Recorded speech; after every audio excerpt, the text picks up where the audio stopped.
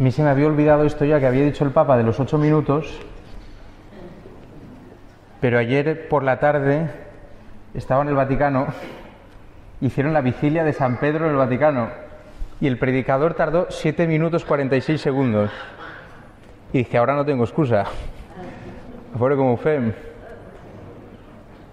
Bien, estamos celebrando en esta víspera del domingo ya, pero hoy coincide que nos introducimos, que vivimos esta gran solemnidad de los santos apóstoles Pedro y Pablo, que es una fiesta que nos hace sentirnos de una manera muy especial, vivir de una manera especial el hecho de que formamos parte de la Iglesia, que no caminamos solos, que somos herederos de aquel testimonio que dieron los apóstoles y que de entre todos se ve de una forma especial, de una forma magnífica en la vida de Pedro y Pablo.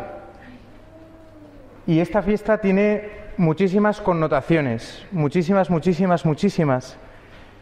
Pero ayer justo en esta homilía que os comentaba, eh, el, predicador, que era don Fabio Rossini, algunos habéis leído algún libro suyo, eh, hablaba, porque había estado él haciendo la novena durante los nueve días anteriores, y hablaba de cómo lo que ha hecho Dios en Pedro y en Pablo es lo que quiere hacer en cada uno de nosotros, que es transformarnos en un hombre, en una mujer nueva, hacer en nosotros una nueva creación, hacernos pasar del infantilismo en la vida y en el espíritu, no entendido en el buen sentido, como dice Jesús, de hacernos como niños, hacernos pasar de una inmadurez en nuestra forma de vivir a vivir en una madurez, en una consistencia, a vivir la vida con el peso que, lleva. ¿eh?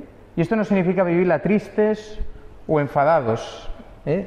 sino vivirla en seriedad, que significa vivirla en plenitud, ¿eh? vivirla en alegría, vivirla en santidad. Porque claro, nosotros vemos a Pedro y Pablo y si, pues algunos habéis puesto hoy imágenes en estados de WhatsApp, eh, algunos habéis enviado también felicitaciones a los Pablos, a los Pedros. No sé por qué hay santos que felicitamos más que otros. El, día, no sé, el día de Santa Elvira no entras a, a, ver cuántas Elviras conozco. Algunos sí, pero muchos no. Pero el día de San Pedro y San Pablo es como un día que todo el mundo dice, a ver cuántos Pablos conozco. Voy a enviar un WhatsApp. Y lo enviamos allí. Pero en, estas imágenes ves a Pedro, ves a Pablo, si vas al Vaticano ves a San Pedro vestido con capa pluvial, tiara, en, una imagen allí impresionante. Pero ¿quiénes eran estos hombres? Pues mirad, San Pedro, después de todo lo que había vivido con Jesús, era un renegado. Y San Pablo era un perseguidor. La obra de santidad que Dios ha hecho en Pedro y Pablo no ha sido instantánea. De Pedro conocemos todo el proceso por los años que vivió con Jesús y todas las escenas preciosas que nos ha dejado el Evangelio y de Pablo cómo a partir de su conversión, el primer dato que tenemos de él es que aprobaba la ejecución de Esteban, el primer mártir, y después es su, encuentro con Jesucristo, su bautismo y, ya toda su vida en, los Hechos de los Apóstoles, toda su predicación y todo lo que cuenta él en sus cartas. Pero es que eh, el mismo Pedro, de quien hoy hemos escuchado que Jesús dice que él le dice a Jesús, tú eres el Cristo, el Hijo de Dios. Y, Jesús le dice, tú eres Pedro, sobre esta piedra edificaré mi iglesia. ¿Dónde está? Aquí. Y el poder del infierno la derrotará. Es el mismo Pedro que cuando Jesús hace la pesca milagrosa le dice, apártate de mí que soy un pecador. Es el mismo Pedro que cuando Jesús dice, mirad, estamos subiendo a Jerusalén y el Hijo del Hombre va a ser entregado, lo crucificarán, el tercero resucitarán, y dice, de ninguna manera, Señor. Y Jesús le dice, apártate de mí, ponte detrás de mí, Satanás, que tú no piensas como los hombres, sino como Dios. Es el mismo Pedro que le dice a Jesús, Señor, ¿a quién vamos a acudir si solo tienes tú palabras de vida eterna? Pero es el mismo que le dice, lavarme tú los pies a mí jamás. Y que el Señor le tiene que decir, si no te lavo no tienes parte conmigo. Es el mismo Pedro que dice, daré mi vida por ti y él mismo que esa misma noche dice, no conozco a Cristo, no conozco a Jesús, no sé ni quién es, no he oído hablar de él. Es el mismo. Y es el mismo Pedro que tendrá que ser renovado y fortalecido en el amor. ¿Me amas más que estos? Apacienta mis ovejas.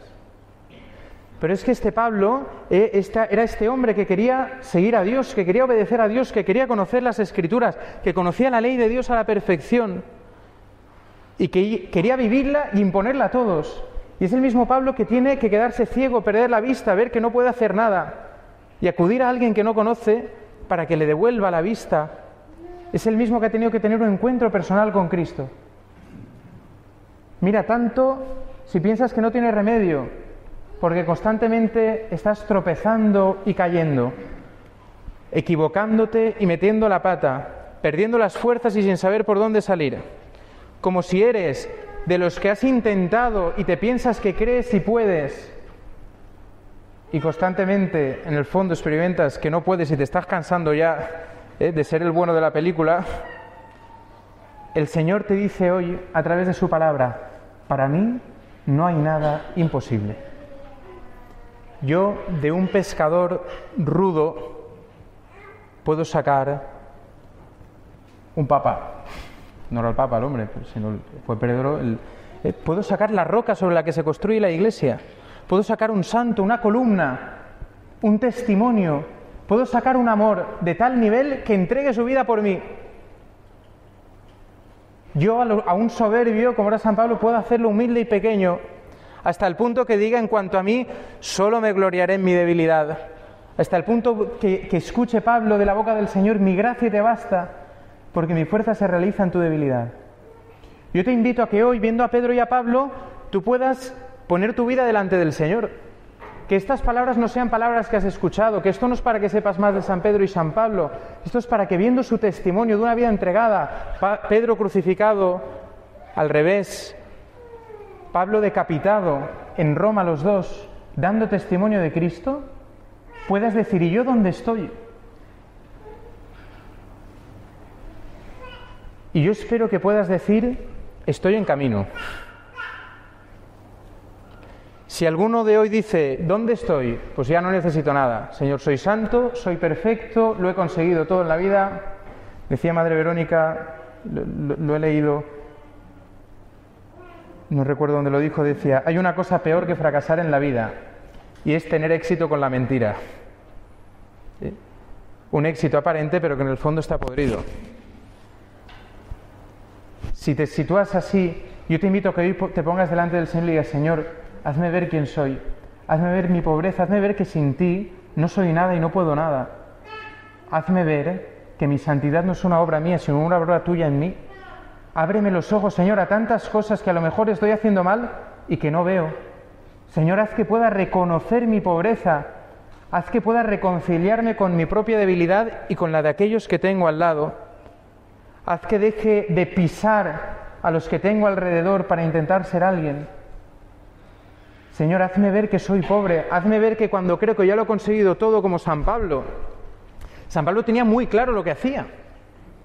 San Pablo era un hombre de Dios y tenía muy claro que tenía que perseguir a los cristianos, lo tenía clarísimo, en nombre de Dios. San Pablo no tenía dudas sobre su vida, ni sobre quién era Dios, ni sobre cómo era Dios, lo tenía clarísimo. Y tiene que tener esta experiencia que siempre se ha, expresado como caerse del caballo, no es algo que aparezca en la Biblia, pero se cae de este caballo en el que está subido, ¿no? De esta prepotencia, de esta soberbia. Si hoy te das cuenta que tu corazón está así, que piensas que no necesitas de nadie, nadie, y dile, Señor, tira a mí, también, hazme descubrir que sin ti no soy nada. Y si al contrario, como Pedro, te descubres que no entiendes nada, que, el sufrimiento, que la cruz te, da susto, te genera escándalo, no quieres verlo ni de reojo, si te sientes pobre, que piensas que, que, al ver incluso las maravillas de Dios en tu vida o en la vida de otros dices, pues Señor, apártate de mí porque yo no merezco esto, no soy tan indigno. Si te sientes que Dios no puede arrodillarse delante de ti para lavar tus pies, le dices, Señor, a mí jamás, si has caído en la desesperanza, en la tristeza o en la angustia a causa del engaño del maligno, porque te ha dicho que tus pecados no tienen perdón o que para ti no hay esperanza. Ponte también en manos del Señor. Dile, Señor, hazme descubrir lo que descubrió Pedro. Hazme descubrir que tú siempre lo haces todo nuevo, que en ti siempre hay un nuevo comienzo. ¿Y cómo puedes hacer este proceso? ¿Cómo puedes vivir esto? ¿Cómo puedes pasar de ser un, un, don nadie como era Pedro o un soberbio a ser un santo? Y un testigo de la fe entregar tu vida por amor a tus hijos, a tu esposa, a tu esposo, en tu vocación en donde el Señor te llame. Pues no es algo que nadie te pueda convencer, no es algo que nadie te pueda explicar. Le dice Jesús a Pedro, bienaventurado tú, porque esto no te lo ha revelado ni la carne ni la sangre. Esto no, te lo has, eh, no lo has aprendido en un libro. Esto a ti no te lo han contado. Esto te lo ha mostrado Dios a ti. El Espíritu Santo te lo ha revelado en tu interior. Te ha hecho vivir de la fe. Te ha hecho descubrir el amor del Padre y que tú eres un hijo. Te ha hecho descubrir que yo soy tu Salvador y tu Mesías. El camino, la verdad y la vida. El Hijo de Dios. Esto no es algo que se pueda estudiar, aunque se puede estudiar teología. Y no es algo de lo que se pueda convencer, aunque se puede dar testimonio de ello es algo que solo Dios puede hacer en tu corazón. Igual que en Pablo dice, contaba él en la lectura, no, no era en esta lectura, es en otra. Él dice, cuando Dios tuvo a bien revelar su gracia en mí, y entonces tú podrás, como San Pablo, decir esto, he combatido el nombre combate, he acabado la carrera, he conservado la fe. Y entonces podrás experimentar que como Pedro eres liberado de la prisión, que como Pablo puedes decir, el Señor estuvo a mi lado y me dio fuerzas para que a través de mí se, proclamara plenamente el mensaje y lo oyeran todas las naciones, y yo fui librado de la boca del león. Y el Señor me librará de toda obra mala y me salvará llevándome a su reino celestial. Y podrás dar gloria con tu vida. Yo te invito en esta tarde, ¿eh? Cada uno de nosotros, ¿no? A que podamos ponernos delante del Señor. Mirad, yo aquí voy revestido porque actúo en persona de Cristo y voy revestido de Cristo para ejercer la misión que Dios me ha encomendado. Los demás habéis venido más o menos guapos en la medida en que el calor nos permite, ¿eh? porque es domingo y nos arreglamos y, nos arreglamos la barba y nos arreglamos el pelo y la ropa y la casa y el maquillaje y el pintalabios y la familia y todo está muy bien. Y es estupendo. Pero mira, el Señor es el único que sabe realmente quién eres y cómo estás. Ante Él sobran las máscaras. Ponte hoy así, delante de Él Pedro cuando recibe esta palabra se pensaba que ya tenía que dar una talla y por eso sufre tanto en sus caídas. Porque dice, si yo ya no tenía que caer, si yo ya era, ponte delante de Él como estás y le Señor, transforma mi corazón, conviérteme, que podamos hoy realmente eh, recibir esta gracia del Espíritu Santo para ser renovados y descubrir que esta renovación que el Señor hace en nuestro corazón no es solo para nosotros, que no es un regalo que vivimos solo, es un regalo primero que vivimos en la Iglesia, con el Papa a la cabeza, con los obispos, sucesores de los apóstoles, que son igual de pobres como nosotros. Ayer justo hablando con un obispo emérito, estábamos todo el curso, no lo cuento, pues si no se sabe. ¿Eh? Pero justo nos hablaba de esto. Nos decía, pobrezas, claro que vais a tener. Luchas, claro, dice, ahora tenéis más porque sois más jóvenes. Primero nos dijo, a los 50 veréis cómo son menos, pero luego dijo, a los 50, a los 60. Tentaciones todos los días. Pero las, las, tienes tú, las tengo yo, las tiene don Enrique Benavente y las tiene el Papa Francisco.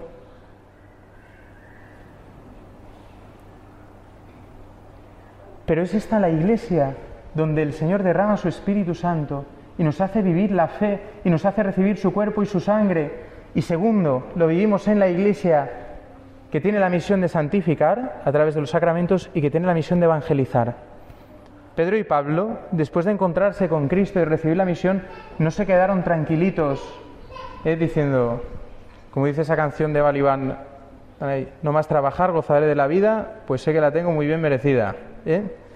No, son enviados a la misión a entregar su vida, apacienta mis ovejas, anuncia el Evangelio. ¿Dónde te llama el Señor a entregar tu vida? De manera concreta, cada uno con la edad que tenga, la situación en que está. Pues que hoy, ¿no? El Espíritu Santo pueda, toda esta palabra que se ha proclamado y todas estas intuiciones que hemos podido compartir, que podamos realmente ver, Señor, ¿y a mí qué me dices hoy?